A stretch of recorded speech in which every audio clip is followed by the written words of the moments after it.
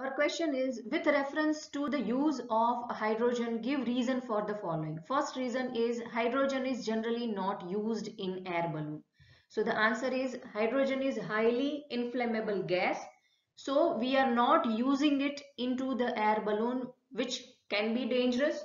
So nowadays the hydrogen has been replaced with helium gas which is inert gas.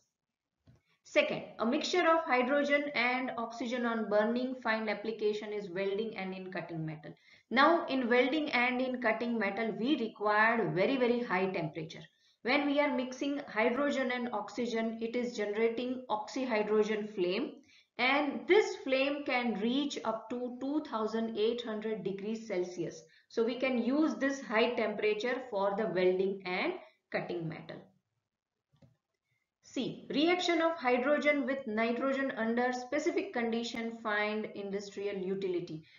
When the reaction with nitrogen and hydrogen will happen, we will get the ammonia that is NH3 and this ammonia has a wide variety of uses in the industry as it is used in fertilizer, nitric acid, explosive and etc.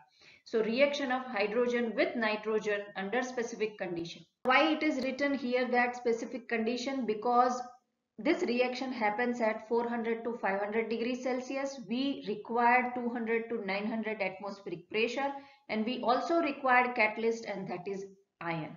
So all these conditions so all these conditions are necessary for this reaction. So it is mentioned here that under specific condition.